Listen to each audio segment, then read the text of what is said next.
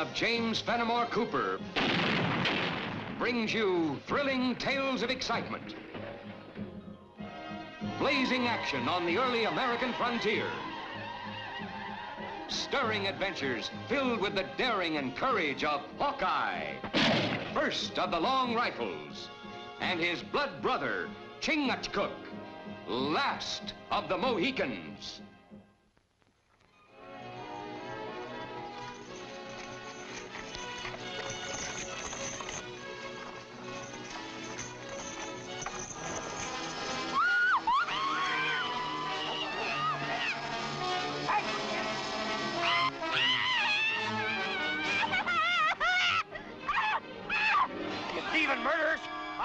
I'll see you all swing from the gibbet! A terrible charge. A dreadful judgment, Squire Palmer. Tolliver. Captain Tolliver. Late of the good ship Fearful, scourge of the Grand Banks. A hand, Sligo.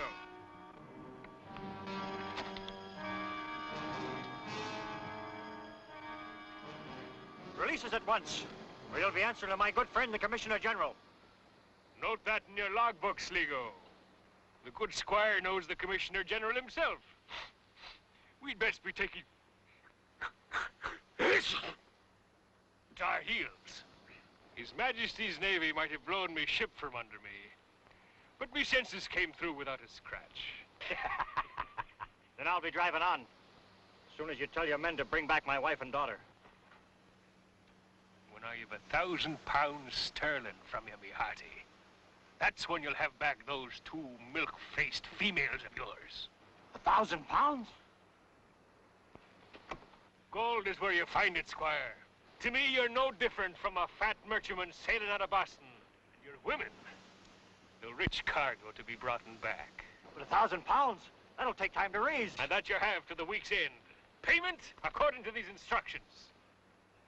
Take me more than a week to get to my banker. Ah, the promise of a pearly ear snipped from your wife's head, or a finger off your daughter's tender little hand, should get you hopping to your banker like a racing sloop.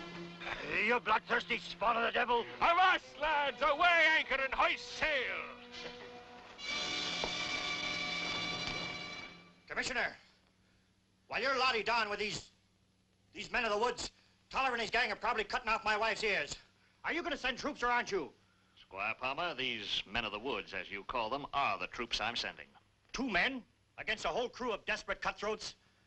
I must have been daft to even ask you for help to get back my wife and daughter. Well, there's nothing to do but leave the ransom as Tolliver wants. Squire, from what I've heard of this Tolliver, you're liable to not only lose your ransom money, but your wife and daughter, too. Tolliver's instructions are plain. If I leave the money at Big Rock, I get back Betty and Jane in the morning. But not be sure, whether alive or dead. This is no guarantee of anything. Squire, I don't blame you for being overwrought. But don't let your loved ones rob you of your good senses. Go home, Squire. Let us handle things our way. If anyone can track down Tolliver and bring your wife and daughter to safety, Hawkeye and Chingachgook can. I'll take your advice, Commissioner. But remember, a thousand pounds is small loss when measured against a man's family. And I'll be holding you all responsible if you save my money and lose me my loved ones.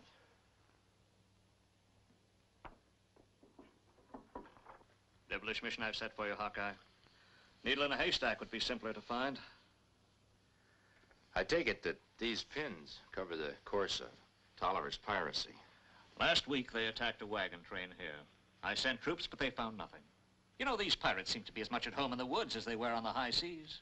They must be fair to middling woodsmen to live in country like that. Those pins cover more than 50 miles of uncharted forest. Take many moons to track down pirate. Then I'm afraid we'd better place the safety of the squire's family in the hands of the Almighty. It's a mighty fine collection you got here, Commissioner. When we capture criminals, we confiscate their weapons. But I'd surrender them all just to see Tolliver's sword hanging there. Four of diamonds. Shouldn't I have heard of him? You should have. One of the most notorious highwaymen of the past few years. Of course. And he used this here as a kind of calling card. Hmm.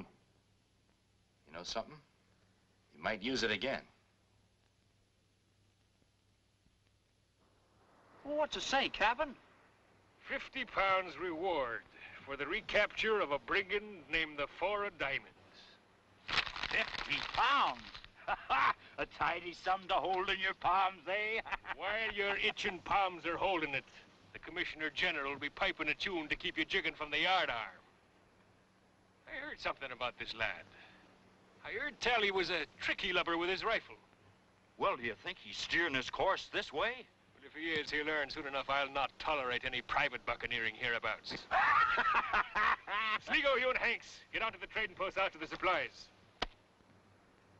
But I think next time somebody else should be sent. I'm getting to be fair squirmy in these settlers' homespuns.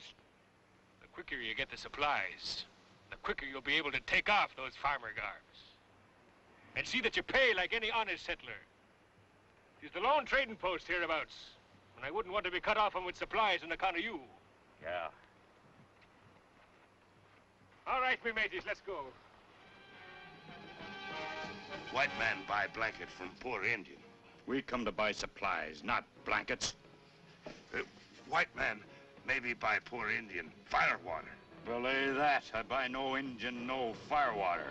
Now, batten your lip and shove off. You're in my way.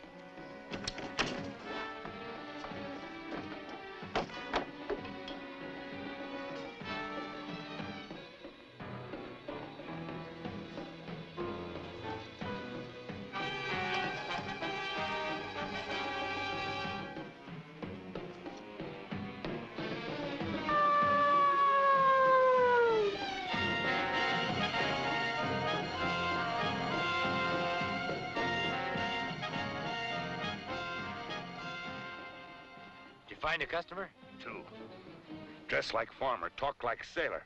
Both in trading post now. Well, like we figured, even pirates got to eat sometime.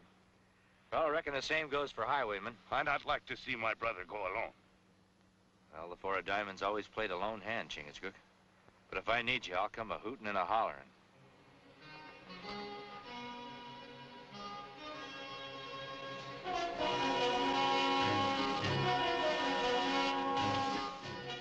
Fifty pounds. More than I could save in a year, and just for telling the Commissioner General I saw him. Yeah. But it ain't for the likes of us to reward like that. I know what you mean. Money comes to money. Some rich fat burgher will be the one to have the luck. Be with you as soon as I can, stranger.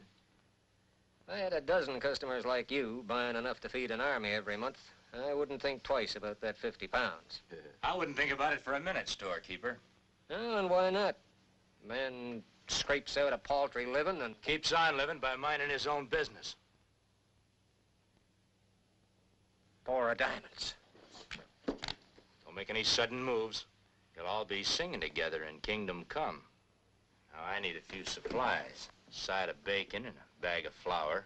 Yes, sir. Wait a minute.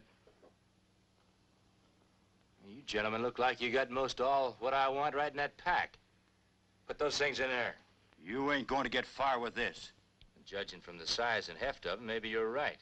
But how far I get with 'em depends on who's going to carry 'em. Now, I think you get the idea. Let's get going.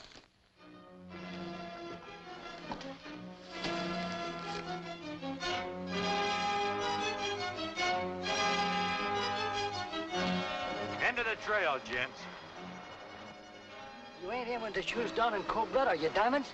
There's an old saying, dead men tell no tales. Uh, but we wouldn't say nothing or we'd forget we even saw you. Well, I'm a mite short a letter. I wouldn't think twice about wasting any on you. Now get going. You know, Diamonds, supplies are hard for us to come by, too. Now, you ain't gonna take both them packs, are you? A man on the run needs all the supplies he can get. You don't have to be in the run. Look, if you'd stole that fancy iron of yours for a minute and listen, you'd find out that we're your kind of people.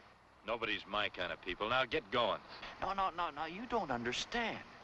We're both in the same business. And I'll wager there's more bounty on our heads than there is on yours. The only head worth more than mine belongs to a pirate by the name of Tolliver. You don't look like pirates. now, don't let these homespuns throw you off course. Me name's Sligo, first mate to Captain Tolliver. And I can tell you right now, we could use a bucko like you in the crew. Well, I've always got along playing a lone hand. I better keep it that way. Oh, no, we, we got lots of action, diamonds? Why, we got a whole town of our own. Had plenty of booty to make you real fat. And besides, the Commissioner General would never get you if you was one of us. Keep talking, Sligo. Look, a fellow with your talent, no telling when the captain will make you an officer. With privileges of rank. Well, reckon it wouldn't do any harm to talk it over with him. Okay, pick him up. But just remember, till your captain convinces me different, there's no higher rank than a man with a gun in his hand.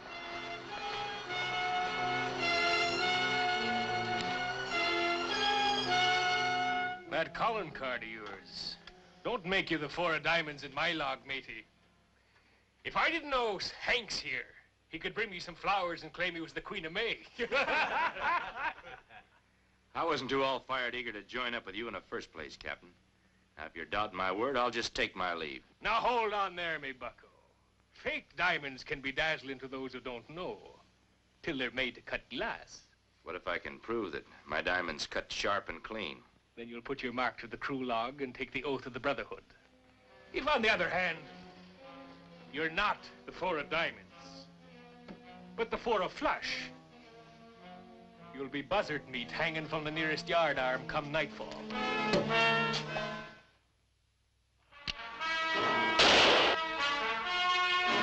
Well, that's two diamonds gone. Now, just to make it interesting, if you'll set that card edgeways, I'll try to cut it in two for you. On that, I'll wager you'll never come close. Thanks. The odds are in your favor, Sligo. Captain sneezing on the heel of your words puts the stamp of truth on 'em. He's got something there, Sligo. I'll cover that. Three gold guineas and a piece of eight. I'm afraid that's a little rich for my blood. Being out of circulation for a while has left me without funds. Then what are you bragging about wagering for? Just my natural gambling instinct, I guess. Spoken to me liking. I'll cover that bet for him, Sligo. Oh, go ahead. Hanks, hold the card for him. Who, me?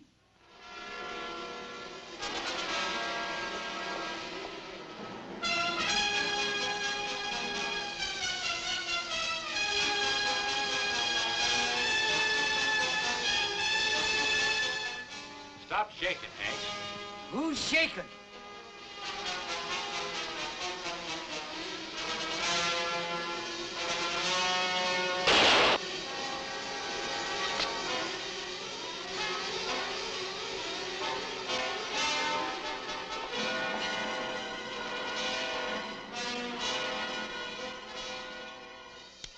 Matched and overmatched.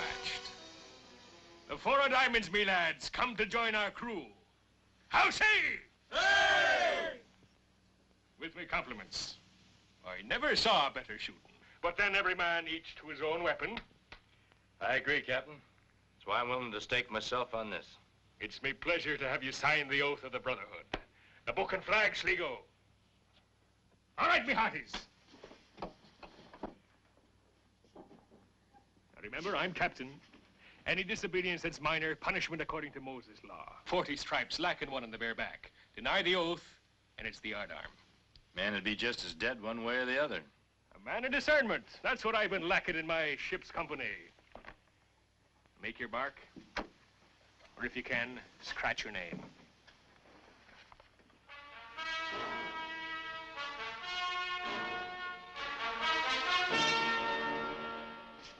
If you're the man I'm thinking you are, your blood will be running a mite warmer at the sight of a couple of likely-looking wenches I've been thinking of inviting to the party. Well, if you don't mind, Captain, I'll get a little shut-eye before I join you. Breaking through iron bars and running away from the law makes a man a bit weary. Any berth that's empty out there in the cabins is yours for the taking. Thank you, Captain. But if it's all the same, I'll make my bed under a tree. Haven't seen much of the sky where I've been living lately. At least you escaped with your sense of humor.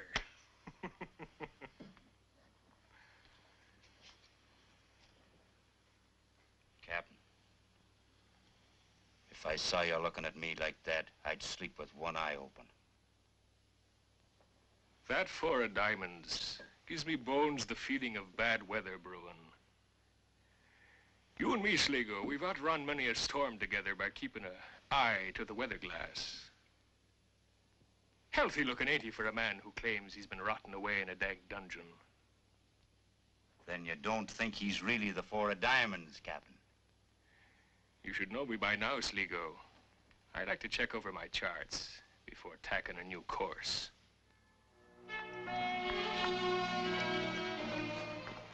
Get to the Commissioner General's office as fast as you can. Tell him Tolliver's hideout's the abandoned settlement by Feather Creek.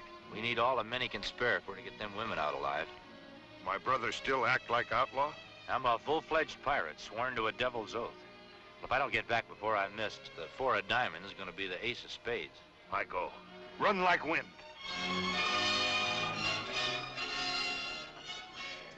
A fine bottle of the ruby. A company of fair ladies. The Commissioner General himself couldn't ask for more. a toast! To the health of your loving husband and father, ladies. And to the hope he ain't forgot to send a thousand pounds.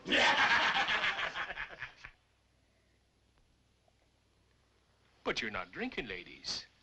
And when we're toasting your dear squire, drink up, it'll make your time here brighter. Now, come on now, girl, you needn't move away. And the zip of this will prove to you just how friendly I be. Two pairs of lips. Then put the stamp of love on it. You Filthy swine! Leave my girl alone. The squire didn't need the money. You're lying. Honest, Captain. I looked and I searched and I waited, but nary a farthing could I find.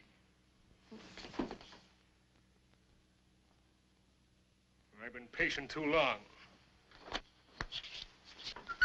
You're my share of the prize. You don't touch her, you foul beast!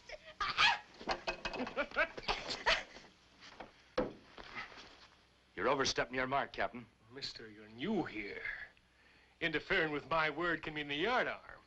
I'm just speaking up for what's fair to me and the rest of the crew. The thousand pounds might still be on its way. I'm the one who decides what's fair for this crew. All the same, Captain, you've got no right to meddle with these women. Nobody tells me what to do and what not to do. I'm the captain here.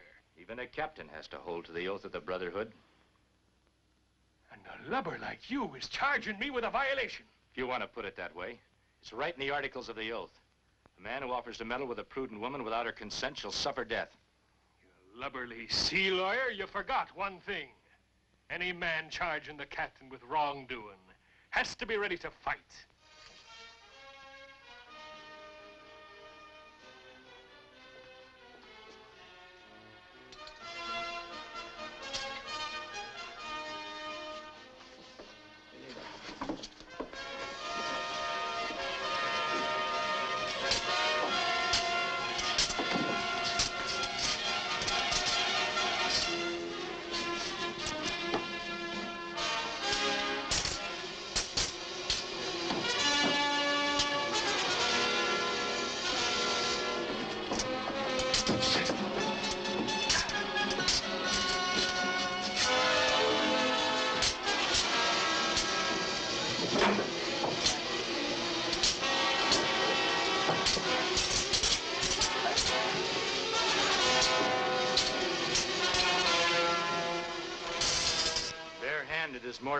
Captain.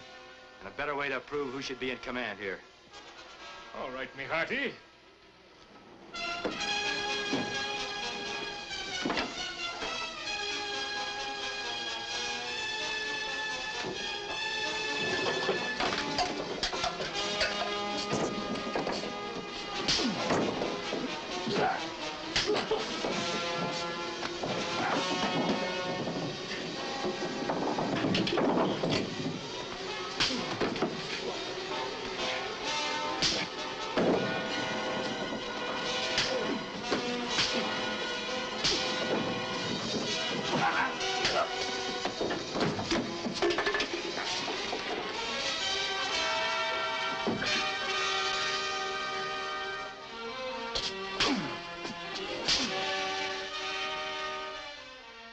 Heed my orders from now on.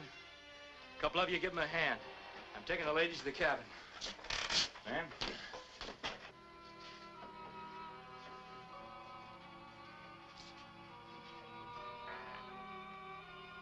thank you for what you've done for us. But now, if you don't mind, we'd like to be left alone to our own privacy. It isn't as simple as all that, ma'am. You're just as bad as the rest of them. Talking us into putting our trust in you. Well, I'm afraid you'll have to. I'm not really the Four of Diamonds. I'm called Hawkeye. And it might comfort you to know I'm acquainted with your husband. I'm doing everything I can to get you to safety. But we'd be safe already if he'd paid the money. Well, it was me that told him not to. Sending money to these men would be no assurance that they'd let you go unharmed.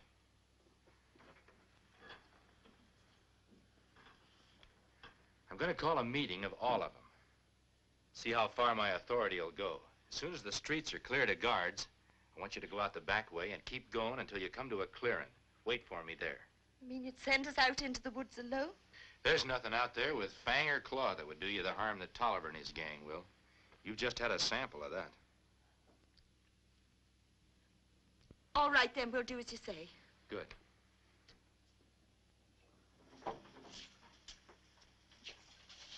Ah, our new captain. No hard feelings, huh, Tolliver? Of course not.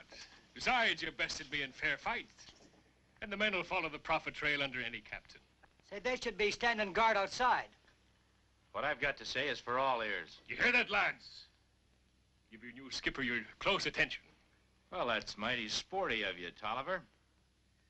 Man, I think I've got a way for us to collect that thousand pounds ransom money. Captain, before you tell us that idea, I'd like to show you something.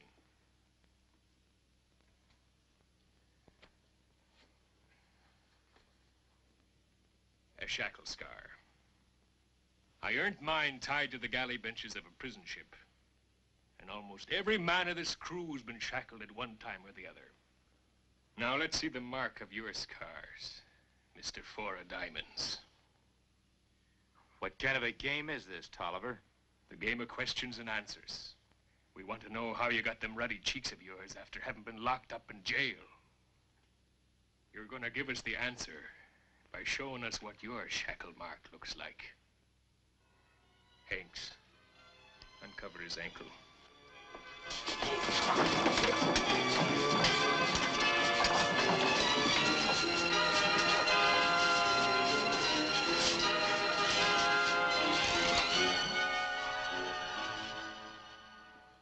We're going to take you out and hang you to the nearest yardarm.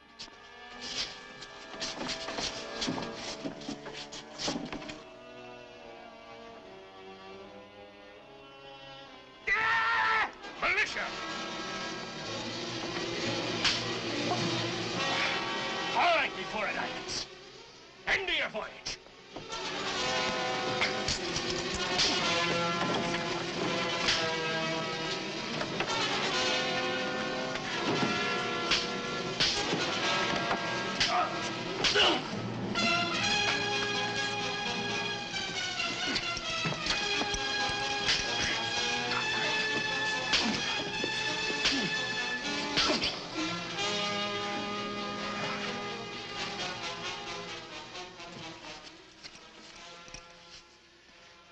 your Captain Tolliver for you, Commissioner. My wife and daughter, where are they? They're waiting for you in a clearing not far from here, just as snug as you please. I'll take you there.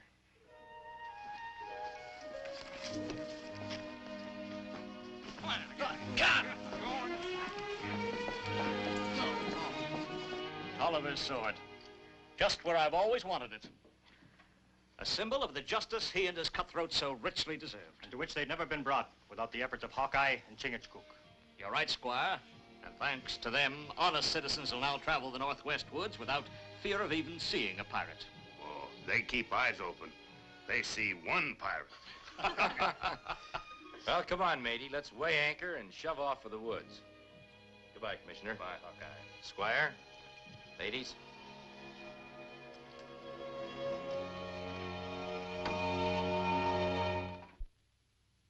Join us again at this same time next week for another of James Fenimore Cooper's gripping tales of the early American frontier. Another exciting adventure of Hawkeye and his blood brother, Chingachgook, last of the Mohicans.